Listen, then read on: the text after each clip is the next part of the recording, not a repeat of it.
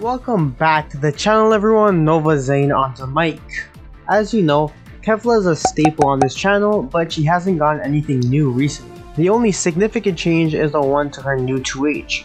So here's a quick guide going over its effects. 2H's distance moved now changes with a forward input, which can be done by pressing 2H then holding forward or pressing a 3H.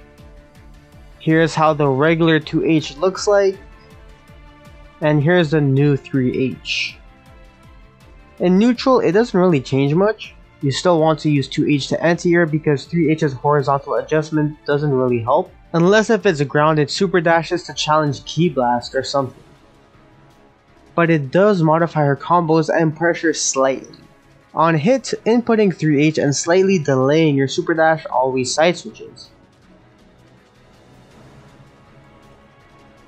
This cannot be done with regular 2H. This is helpful to get back to the corner whenever you want. But it's not that useful on skilled combos due to Kefla's great corner carry anyways.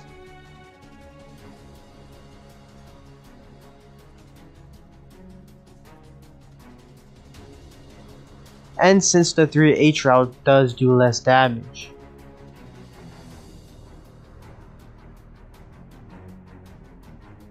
It can even be helpful to get out of the corner for specific setups.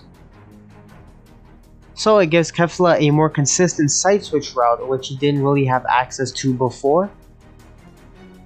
Now onto her pressure. Normally mid-screen, 2H always lifts after 5H and 5S. It can land after M's and in the corner though. Whiffing the 2H on purpose can be useful as pressure baits with assists, but the range does limit its usage. However, with 3H, it can always connect whenever you want after 5H or 5S. The only exception is 5H, 5S, 3H mid-screen, but there are no issues in the corner. So we can get into more options now. After seeing Kefla being airborne, many people instinctively block high, so the low layer becomes an effective load to continue pressure. It gives you an additional frame trap option after using 5H. It can be a bit hard to confirm a hit versus a block though. This is especially useful in the corner when you can 5H 5S. People are more willing to challenge after 5S if they already see you using your 5H frame trap as I'll expect a reset and not expect another strong frame trap option. Remember, you can always use her lariat as a low frame trap even after 3H as long as it's early enough.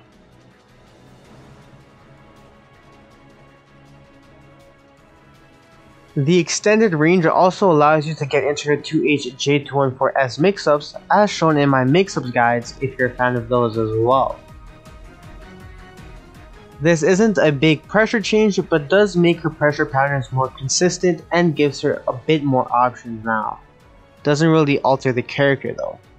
Thanks for watching this quick video, I hope you learned something new since I did receive some comments asking about this, and I'll see y'all next time.